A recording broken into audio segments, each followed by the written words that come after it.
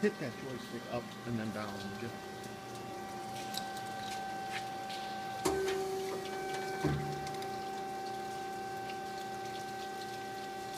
That's good.